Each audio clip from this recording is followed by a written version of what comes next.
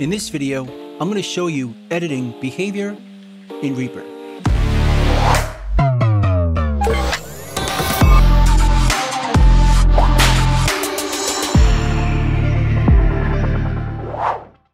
Now, by editing behavior, what I'm talking about is the preferences for editing behavior in Reaper.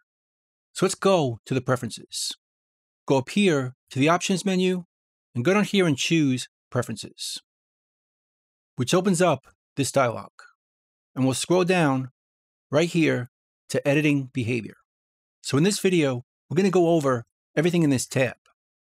Now the first option up here is to move the edit cursor to the start of the time selection on time selection change. And as you can see, it's off by default. So if we create a time selection like this, notice our edit cursor stays over here. So if the edit cursor is over here, and we create a time selection in the ruler or in the space between our items, just above the track, it doesn't change where the edit cursor starts, which is useful if you want to create edits but don't want to change playback each time. So I can put my edit cursor at the beginning for playback, make some edits, and it's still going to play back from that same point. Which is great for editing, but always playing back from the same position. But if you want to change that, we could change it right here.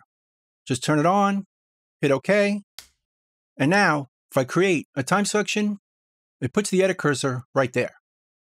Stare too long. And here, if I create it right here in the ruler or in the space above the track, it creates a time selection, but also moves the edit cursor. So it's going to affect playback, which is really useful if you're creating loops. If you want to loop from bar 3 to bar 5, it's going to start playback right from the beginning.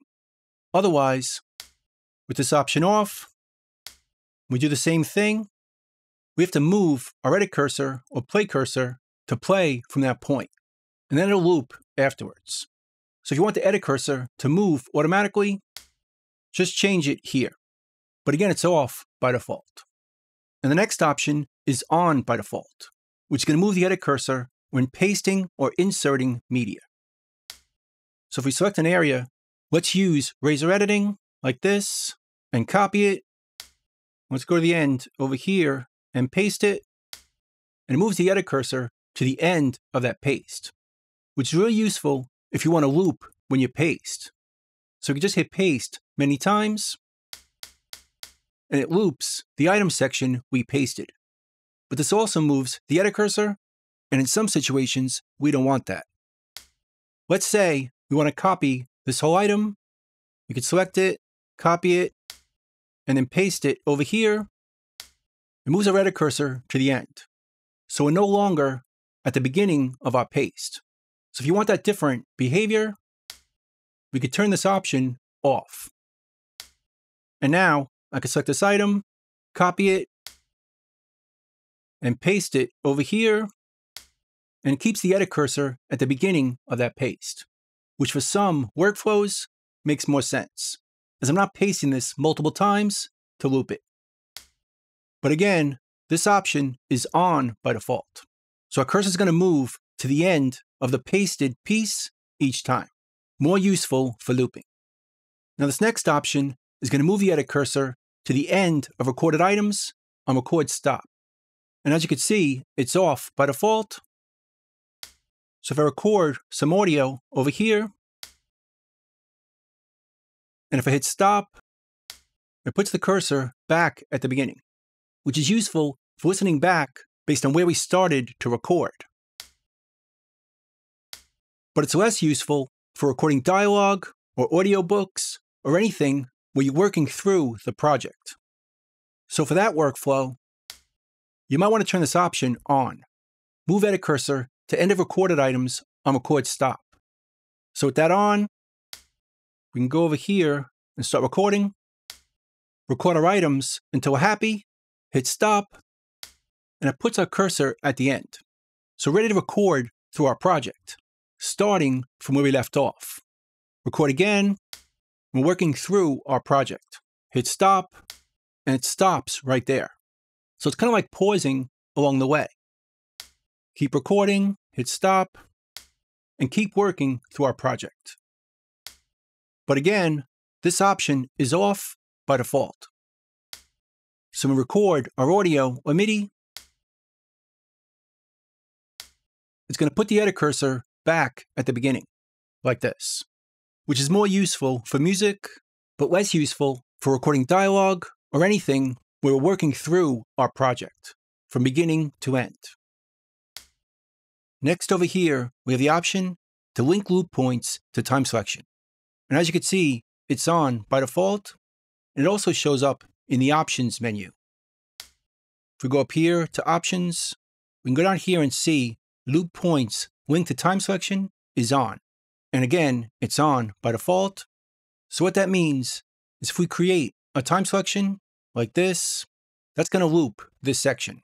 Let's make a small one right here, hit play. Run a few miles down a desert road. Run a few miles. It loops that section. But what's linked in this option is our time selection too. So if I want to create a time selection over here, like this, it moves the loop points as well. So we lost the looping over here. Every time we create in the ruler or just below it, above the tracks, a new time selection, because they're linked.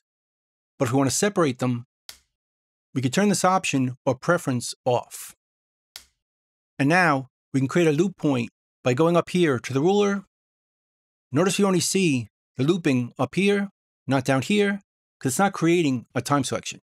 So it's still going to loop. If we play it, Run a few miles down a desert road. Run a few miles. But now we can create time selections just by dragging below the ruler and above our tracks, which is called the arrange view, like right here. This is now a time selection, which is separate from our loop points over here.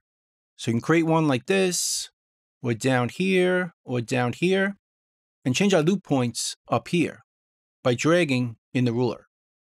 So they're completely separate, and changing one doesn't change the other.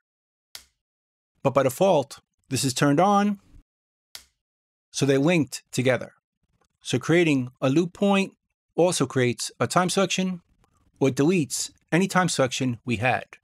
If we had one here and we create one here, it deletes or removes the old one and creates a time selection and loop points at the same time. But if you want it separate, just turn it off. And now we can create loop points and still edit over here without affecting our loop points over here. But again, they're linked by default. Now at any point, we can clear our loop points or our time selection just by hitting the escape key. So if we create one, hit escape, it clears our time selection and our loop points. But we could also do it if we choose the option right here, clear loop points on click in ruler.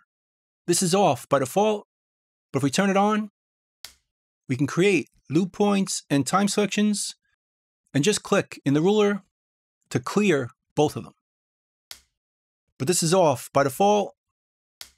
So if we do that and click over here, it doesn't clear our loop points or our selection.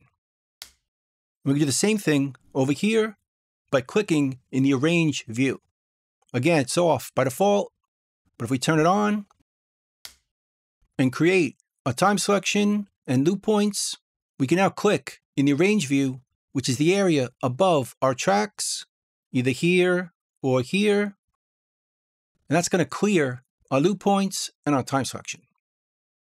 We can still click in the ruler because we turn that option off. We leave them both on. And now we can click either here or up here to clear them. We'll just choose the one you prefer. We'll leave them both off and just clear it with the escape key. And that clears our loop points and the time selection. And again, these are both off by default.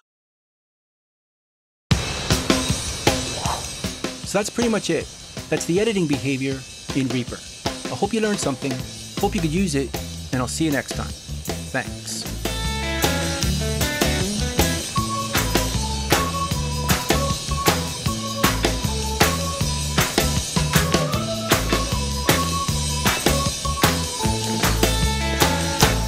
Bingo, boys, let's go.